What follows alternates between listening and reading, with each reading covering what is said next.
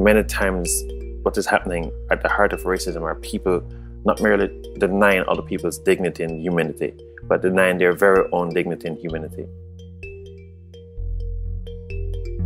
Today on Chalk Radio, an innovative approach to teaching about race and racism. It means, you know, pulling back and asking some tough questions about our society, about ourselves, about what it takes to move forward, understanding each other, but also working to advance a much more just society and a much better way of understanding what it means to coexist. In this episode, an urban studies course examines our lives in public spaces and invites us to consider how our very personal experiences might also contain the experiences of others.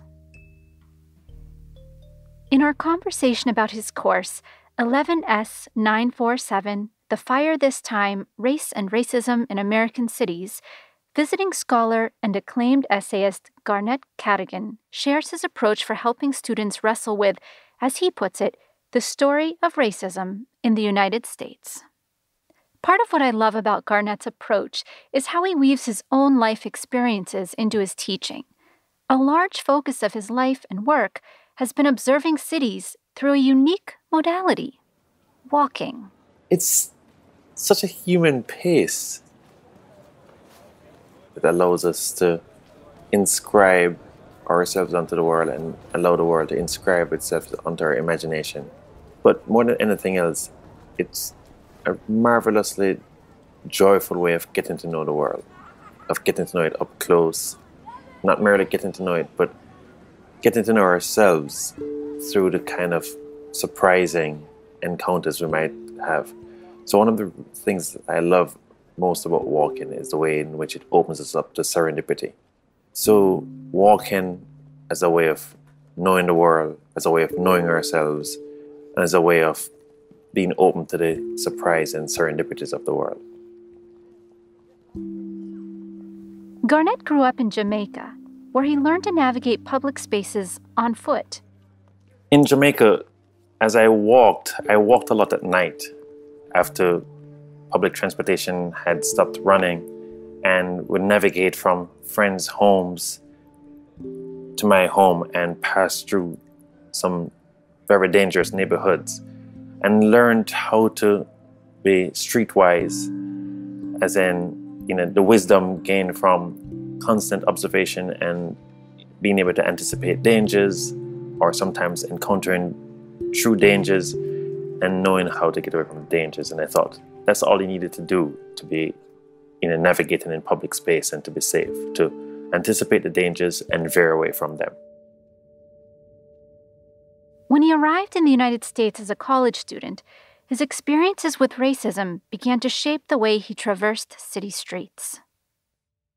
And I came to the US with that sensibility and then began encountering racism, but recognize that what actually happened then, it wasn't so much learning how to read a danger, but learn to read in places in which people thought I was a danger. That's what had happened, that you know, it was over and over again, me seeing the dangers and veering away from it but then suddenly recognizing and being shocked to know that I was a danger and I was a danger because I was black, because of my skin color. So navigating then suddenly became trying to anticipate the ways in which people would anticipate me being dangerous. It meant calibrating my movements not to fear, but calibrating my movements to people's fear of me and knowing that that could be dangerous for me.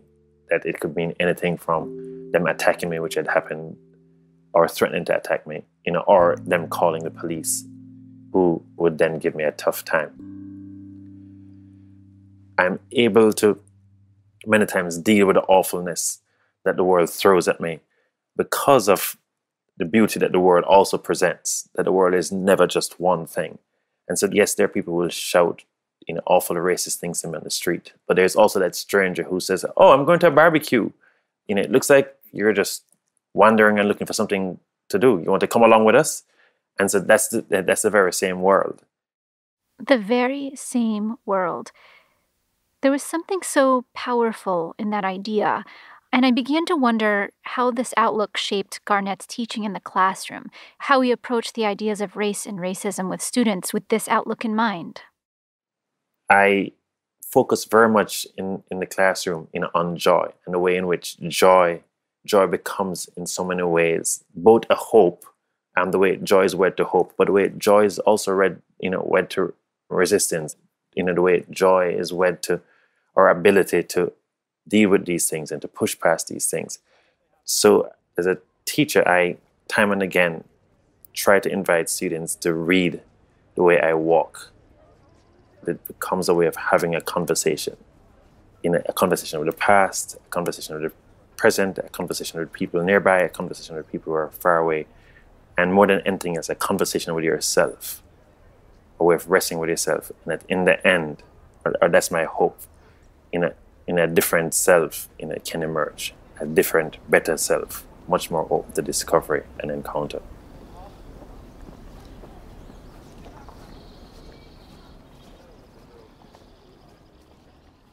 For Garnette, encountering others is key to understanding the story of racism in American cities and for imagining a different, much more dignified way to coexist. It's an idea that grounds how he teaches about these complexities. What does it mean to think of the classroom as a place of encounter in which you're continually encountering these issues, these histories, these landscapes, these complexities, these people? And what does it mean to truly listen, to truly understand? Garnette shared with me that it can feel disheartening to unpack the complexities of racism in our society. Students and teachers alike may experience burnout over the course of a semester. As I talked with Garnette, it struck me that helping students cultivate curiosity about themselves and others was a strategic way to sustain their engagement. When you have something so huge, it's to say, oh, we're just going to climb this mountain right away um, it's it's just impossible that your legs will give out you know quite quickly and it will just lead to frustration. So i invite them to just take a small patch and to you know keep moving patch by patch on that mountain until at a certain point they look up and they go oh we're halfway up and we're actually not even trying to conquer the mountain anymore. That was the wrong way to, to, to go about it. You know we're just now at a place in which we're happy to investigate the terrain and then to ask each other what the terrain looks like where you are so I could learn more about the mountain. And we might actually never even reach the top, but we'll have a much better understanding of landscape and of flora and fauna and of nature and much better sense of what it means to hike thoughtfully.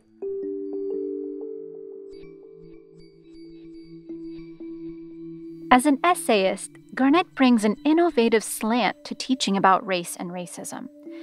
For him, the act of writing and having students write is a way to do the work of encountering others.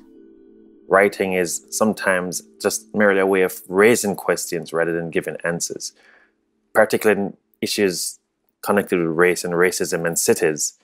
That's a big order. It's a lifetime of thinking and wrestling with complicated issues racism, race, which is produced by racism, and American cities. What does it take to understand and to wrestle you know, with the in a full in a scope in a, and the complications connected you know, with each of these? And the writing becomes a way sometimes just merely to ask questions to say, oh, we have not been asking the right questions. This invites us to ask new questions, or this invites us to see in new ways. This invites us to listen and more than anything, it invites us to encounter, to encounter each other in conversation, but also to encounter others on the page. It means, you know, pulling back and asking some tough questions about our society, about ourselves, about what it takes to move forward, understanding each other, but also working to advance a much more just society and a much better way of understanding what it means to coexist, what it means to live together alongside each other and the writing becomes a way to explore that.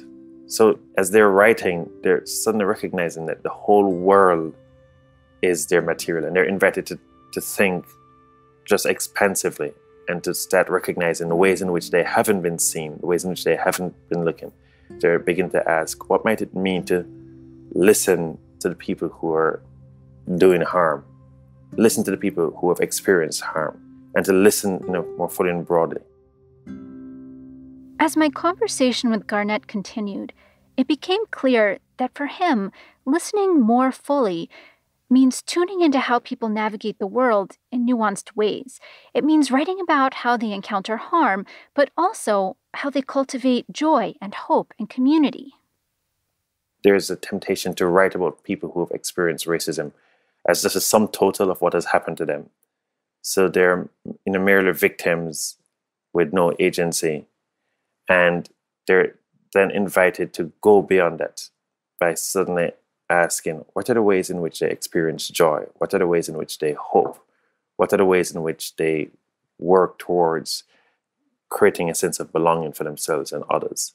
What are the tight bonds of community and family and country for the people that we're writing about? And what are the ways in which these are broken or you know, erupted or eroded? And you're not suddenly speaking of people in a condescending or paternalistic manner. You're speaking of people as fully rounded, you know, not no longer flattened, but you're seeing them in in rich dimension with aspirations and joys and frustrations and faults and virtues.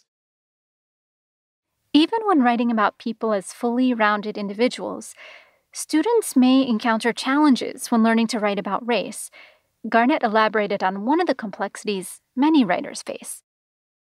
One of the problems with speaking about and writing about race is that too often people are made to feel that their responsibilities are to explain one side to another side, to explain the black experience to people who are not black or to explain what it means to inhabit a particular body and set of experiences that are unique to you and that make moving through or living in the world a much worse experience than someone with a different skin color. But part of the challenge is to show the ways in which racism degrades everyone. That in degrading someone else, you can't help but degrade yourself. And in that class, one of the things I'm trying to invite people to do, I'm trying to invite students to think about, is the responsibilities not merely to think of writing about race or understanding race, of trying to show you know one set of experiences to someone who's foreign to it, but to show the ways in which we have quite a bit of common experiences, and that many times what is happening at the heart of racism are people not merely denying other people's dignity and humanity, but denying their very own dignity and humanity. And so it's an invitation to figure out you know, how to write about race and racism in which we're showing the ways in which we contain each other.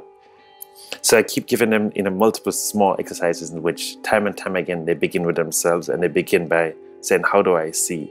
Or even to write that I want them to think about multiple voices. What does it mean to think of writing as not just merely speaking, but as a way of integrating your voice with the voice of others?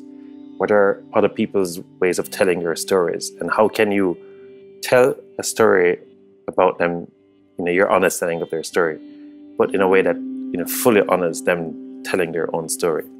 And that seems like such a huge task for people. And so I begin by saying, oh, let's play critical karaoke. Garnette adopted this practice from a music conference he attended, where attendees got to speak about a song as the song played. I sat in on one of his classes and observed critical karaoke in action. It was one of the most powerful teaching methods I've seen yet for capturing how we contain each other. They begin by starting to say, This is what the song is about, or this is why it relates to this particular issue, or my thinking on this issue. And you're hearing them speak about the song, but tying the song to a larger issue that they're thinking about. And then speaking about lyrics of the song or something that the song does, And at that point, their voice fades out, and you hear the song, the song's notes or the song's lyrics come in, and it teaches them in a fun way, you know, how to begin to think about interweaving my voice with the voice of others, how to speak alongside others rather than about others, in which you're speaking about them denies them agency and dignity.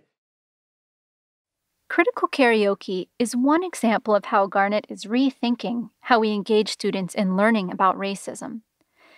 But there's something even more profound at work in his teaching. He's fundamentally reimagining a framework for how we approach the topic with students, veering off a well trod sequential strategy and jumping into a mind opening matrix of connections. I looked at a lot of syllabuses. I went online and tried to find every syllabus I could find that was available at different universities about race and racism in America, particularly in American cities. And the approach tends to be to have it organized by issue. This week we will discuss slavery, or these weeks we will discuss slavery, then emancipation, the civil rights movement, mass incarceration, policing, education, environmental injustice, in housing, in development, education. And I found what actually happened was that when I began discussing by way of issues, then people in a, in a so often organized around issues and then they felt like they had to resolve it in a, at that moment. So he decided to shift the focus. It became on inequality, on freedom, on joy, on pessimism and hope, on belonging, on mythology, on unrest, on violence, on resistance, on imagination. It was an invitation to say, we will not figure out mass incarceration in one week. That it became a way of spreading the issues out. And so mass incarceration would come up when we were talking about inequality. And then it would return again when we we're talking about hope and pessimism. And then it would return again when we we're talking about resistance. And they then had the invitation to, you know, have spent a whole semester to think through this thing. They then suddenly recognized the ways in which we thought we were all bound up in each other. The issues themselves were all bound up in each other. As you began to think about you know, issues having to do with mass incarceration, you were also thinking about issues having to do with policing, you were thinking about issues having to do with housing, you were thinking about education, you were thinking about investment and disinvestment.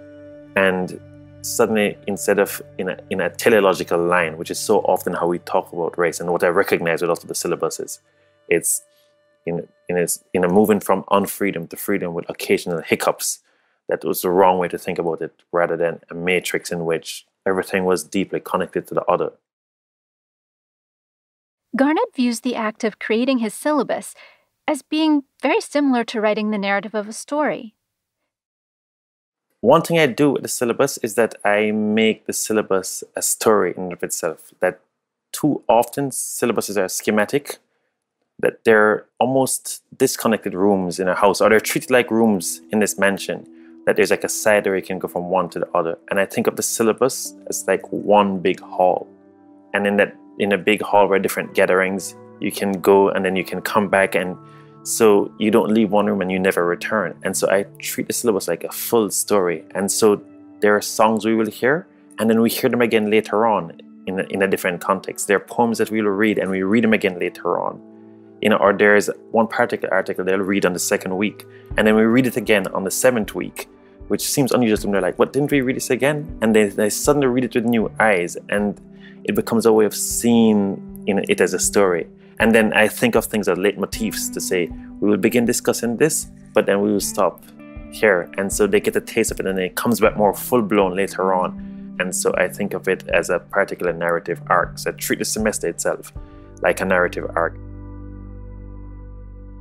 For Garnette, the syllabus must be as multidimensional as the students themselves, incorporating opportunities for joy and reflection and it should also be shaped by the students' voices.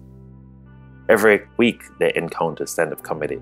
Uh, they encounter poetry, they encounter song, they encounter film, they encounter short story, you know, fiction, essay, reportage, the academic article. And so there are a variety of voices, and it's an invitation to understand the world in the many ways the world presents itself to you in knowledge. One of the fascinating things about teaching a course like this is you know how do you keep yourself open to being taught by the students? In thinking about this balancing of many voices in the voices from the past or voices near and far in it, can you you know, in accommodate their voices? And so in a class like this one has to be very open and you know ready to listen and to have students express their own autonomy in shaping it. And part of you know, because there's also a great irony in not doing that. Because one of the things at the heart of racism is the denial of autonomy to others, the ways in which many times you know, authorities use to stamp on autonomy. And for me, not to listen, not to have them be active agents in shaping and reshaping the class would then be a version of that, of you know, authority denying autonomy. To close, I'd like to leave you with a quote from Garnette about joy and resilience. One of the things I had made a decision very early was that I am not the sum total of what happens to me, which is something I you know, keep reminding students you know, as they study about race and racism, that people are more than the sum total of the awful things that have happened to them. That there's a possibilities you know, of joy, of resistance, you know, of moving through the world, not ignoring the awful things that have happened to you, but of determining that you will not let you know these awful things define and constrain you.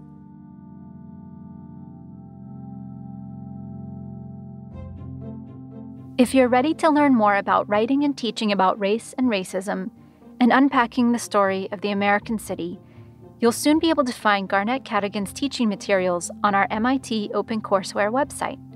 Our materials are always free, if you're an educator who remixes the resources in your own teaching, please call or write to us to share your story. You'll help inspire others. Thank you so much for listening. Signing off from Cambridge, Massachusetts, I'm Sarah Hansen from MIT OpenCourseware.